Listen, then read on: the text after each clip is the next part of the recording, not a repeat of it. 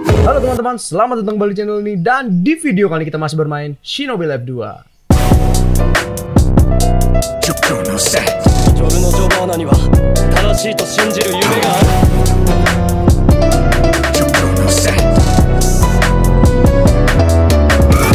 Oke teman-teman, tadinya sebenarnya gue pengen main eh, uh, ABA. Sebenarnya di, di ABA juga ada update ya. Pain sama satu karakter lagi apa gak tahu gue jelas tapi di game ini ada update juga cuy. Dan update-nya, wah gila sih update-nya gila banget ya sumpah. Ini update yang sebenarnya paling gue tunggu Tapi paling ngeselin gitu ya. Yaitu adalah cakra mode teman-teman. Jadi setiap jin curigi kalian itu akan punya cakra mode. Kalau kalian nggak tahu nih videonya kayak gini ya itu kalian bisa lihat di eh, YouTube-nya yang buat game langsung Real Bros atau Real Game gue nggak tahu apa namanya. Cek aja di deskripsi ada linknya gue kasih linknya ke kalian oke? Kalian cek aja videonya mereka wah gila sih itu dia dia nge-showcase semua Jin Clock ya namanya Jin Clock kalau di sana ngomongnya. Jadi Jin Curiki Clock ya. Nih Jin Curiki Clock. Dan untuk levelnya teman-teman yang bikin ngeselin tuh levelnya ya nih. Kalau Jin Curiki mentok itu kan sampai 5 ya. Sekarang Kurama 5 nih. Nah ini kalian bisa lagi cuy. Kalian mentokin ke 6 ya tapi kalian butuh level 1200 1200 ya. Dan kalau kalian mau pakai yang apa? Jinchuriki Clock yang udah punya ekornya itu lebih gila lagi 1500 ya. Tapi di sini nggak nggak. Oh tuh ada tuh 1500. 1500 guys. Naikin levelnya kayak gimana itu anjir? Udah level segini tuh udah lumayan lemot loh. Bahkan pakai cara gue sekalipun yang kemarin yang begini ya. Eh salah salah. Yang Q, Q begini itu udah lumayan lumayan lumayan berat gitu naik levelnya ya. Mungkin tiga kali skill Q sama Z itu baru naik level cuy. Ini udah lumayan berat nih sampai 1500 gue gak ngerti lagi dah gimana ceritanya dah. 1500 gitu pertanyaan gue 1500 anjir. Gila sih. Cuman ya oke lah. Dan ini katanya ada ada perubahan-perubahan sih. Coba kita lihat Kokojin ya. Soalnya kan kemarin kan kayak Jinchuriki semua sama kan. Ini sekarang udah ada kayak perubahan gitu. Nah udah berubah ya Kokojin gua. Udah ada tanduknya tuh sekarang. Kemarin nggak ada kan ada tanduknya. Terus sekarang eh, rambutnya tuh warna hitam ya. Nah kalau yang lain gua nggak tahu dah. Mata tabi kayaknya masih sama sih. Ini gua nggak bisa ngecek semua nih teman-teman mode berserknya karena gua masih level 0 ya. Belum gue naikin baru Sukaku nih baru 300 gua main ketiduran gitu kan aduh. Ini nih gue lagi naikin Kurama sih sekarang guys. Gue lagi pengen naikin Kurama untuk dapetin cakra clocknya ya. Kayak Naruto keren anjay. Sumpah keren kalian lihat dah. Kalian lihat di videonya si Real Bloss dah gila sih. Keren banget. Dan by the way ada update lain juga Yaitu adalah mode baru Slug Sage sama Snake Sage. Nah Slug Sage ini eh, kayak ini ya. Tsunade Tsunade Tsunade jadi dia keluarin kayak Katsuryu kalau kalian tahu. Siapa sih namanya? Katsuryu sama ala apa namanya itu pokoknya? Yang siput ya siput. Bukan siput ya tuh apa ya? Eh siput ya bener siput ya. Keluar siput gede gitu dan dia gunanya tuh buat buat ngeheal juga si Real Blow semua udah cover di sana kalian bisa lihat aja. Eh, Snake Sage juga sama. Dia eh, ada dua teman-teman. Kalau Snake Sage ada dua mode Eh, mode mode pertama mode yang biasa keluarin keluar ular biasa. Sama kalian kalau misalnya kalian contohnya kayak gini nih. Sama kayak waktu Rinnegan terus animal part ya. Animal itu berapa ya? Eh tiga tiga. Nah animal part mirip kayak gini. Nah cuma bedanya kalau yang ular di mode kedua dia bisa nyerang akhir-akhirannya ya. Kalau ini kan enggak cuman kayak nabrak doang kan. Nah kalau misalnya yang ular itu dia bisa kayak ngeluarin racun lagi temen-temen kayak gitu. Nah untuk struk lagi kayaknya cuma satu mode deh. Gua nggak tahu juga sih. Kayaknya cuma satu mode ya lalu lanjut ada jutsu-jutsu baru. Pertama ini Forest of Death. Kalian pasti tahu ini ya. Ini jurusnya Yondaime sebenarnya. Tapi dipakai juga sama Sandaime. Si kayak kakek tua itu si Sandaime ya. Sandaime Hokage. Sarutobi apa gitu gue lupa namanya ya. Dia pakai jutsu ini untuk eh, untuk ngambil jutsunya si Orochimaru ya. Jadi ini eh, fungsinya sama sih. Si Real Bros gue udah lihat juga kayak begini videonya nih. Nah dia tuh kayak apa ya?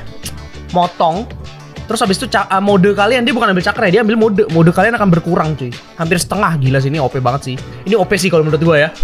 Forest of Death ini OP loh kalau kalian PvP cuy. Soalnya kalian menghilangkan mode mereka gitu. Misalnya kalau kalau gua pakai mode Rinnegan nih.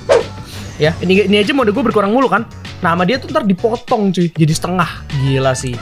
OP cuy, OP cuy, OP itu. Tapi dapetinnya juga gila ya. 1 per 70 guys. Ini kayaknya dia paling gede deh rarity-nya ya. Pick kebu aja tuh cuma 1 per 69 gitu. Ini 1 per 70 gitu kan. Ah, gila ya. Dan ada satu lagi namanya Vanishing Rasengan nih, Rasengannya punya Boruto. Dan dia juga eh, rarity-nya lumayan ya, 1 per 35. Gila gua gak ngerti. Anjir lah, sumpah kok jadi langka-langka banget gini ya. kok jadi langka-langka banget gini ya. Udah Snake Sage 1 per 50, Slug Sage 1 per 40. Uh nice. Nice. Mantap. Ini ini kalian harus benar-benar beli private server sih kalau menurut gue ya. Ini susah banget sih dapetinnya kalau nggak kalau nggak pakai private server karena ini langka banget cuy. Ini langka banget sih.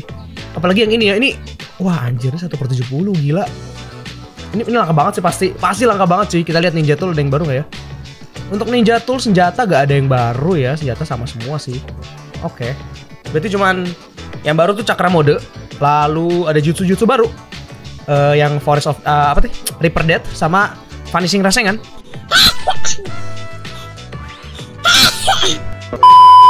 Sama mode baru teman-teman ya si Snook Sage sama Snake Sage. Ini dua-duanya langka juga nih.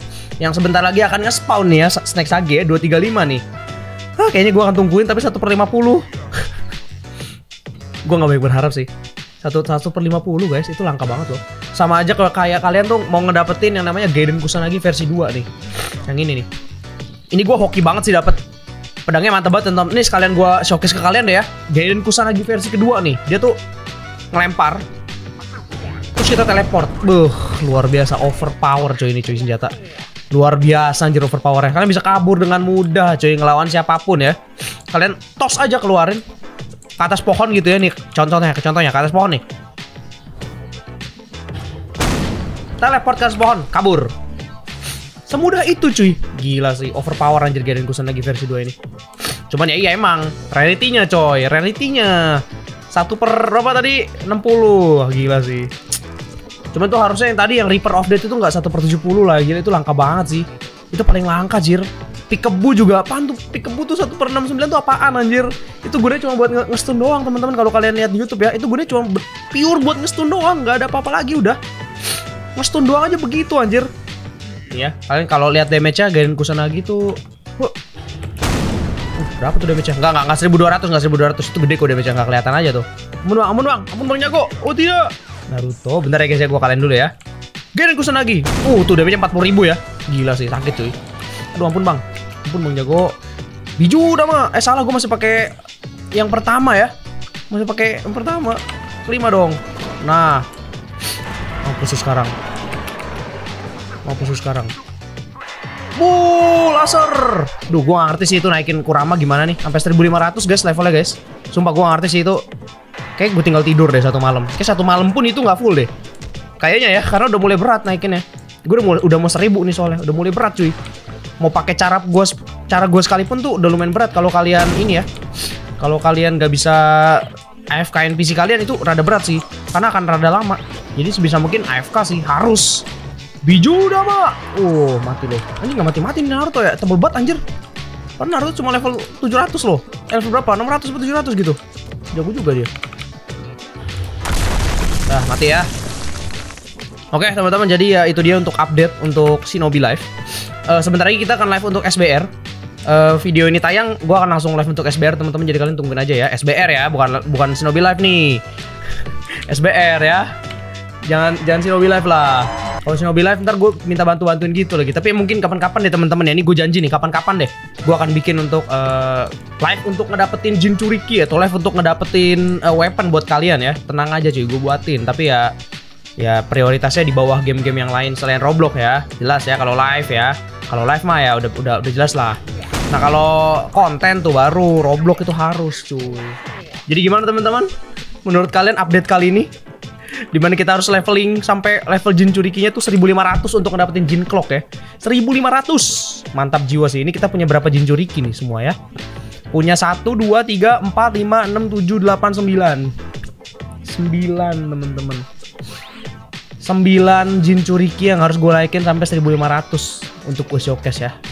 Mantap sekali Real Blos Luar biasa. Enak ya jadi youtuber ya youtuber yang gede-gede ya enak ya. Karena dia langsung dapat dan udah mentok cuy. Udah udah udah punya jin clock. Kalau youtuber kayak gua gitu kan aduh gua mesti naikin level sendiri cuy. Meninggal meninggal. Oke teman-teman terima kasih sudah menonton video ini. Jangan lupa nanti kita untuk live SBR lalu kita akan live Batman juga. Dan malamnya mungkin akan Yakuza.